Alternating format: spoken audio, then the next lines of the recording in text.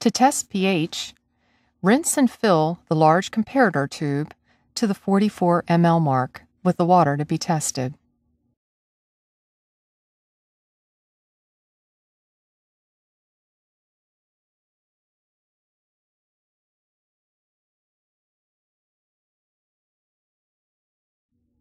Add 5 drops of reagent 4.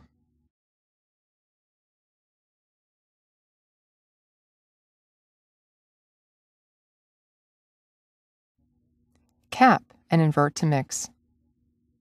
Match the color with the color standard. Record as pH units and save the sample if the pH needs adjustment. If the sample color is between two values, the pH is the average of the two. To lower the pH, do the acid demand test. To raise the pH, do the base demand test. Color matching should be conducted outdoors in natural northern light or indoors with the aid of a daylight simulator.